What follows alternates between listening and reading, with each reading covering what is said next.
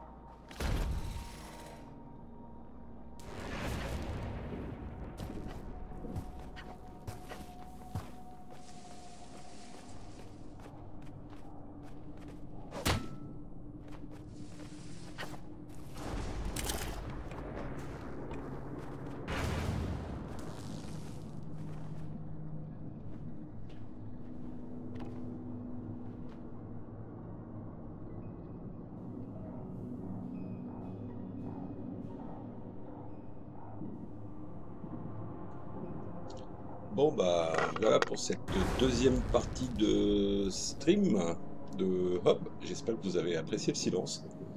Euh, vu qu'on a passé la petite heure légale, donc ça arrive dans 3 minutes. Ouais, je pense que c'est raisonnable de faire une pause là.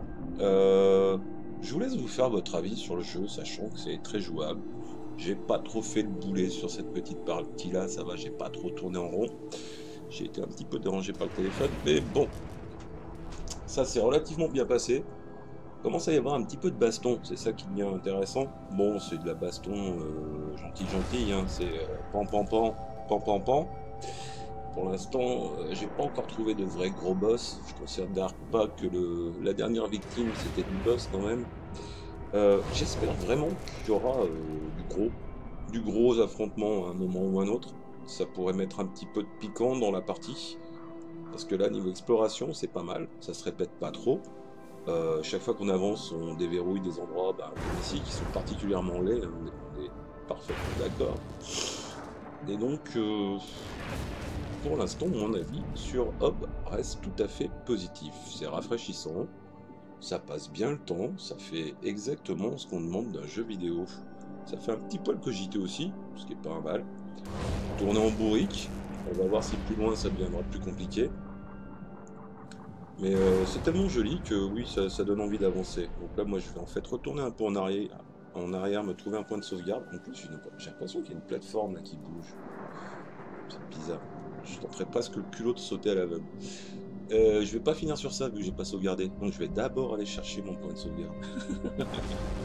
On se retrouve peut-être sur une troisième partie avec euh, le même principe. Je pense que vous n'avez pas besoin de m'entendre pendant le jeu. C'est parfaitement inutile.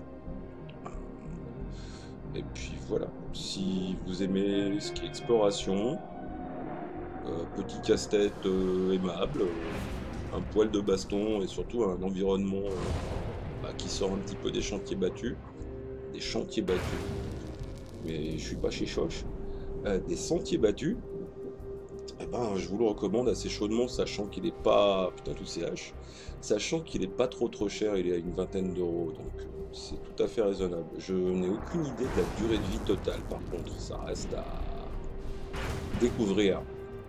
Merci d'avoir suivi le stream, on se retrouve euh, pour une troisième partie, pareil, en silence, ce sera juste très bien. À bientôt.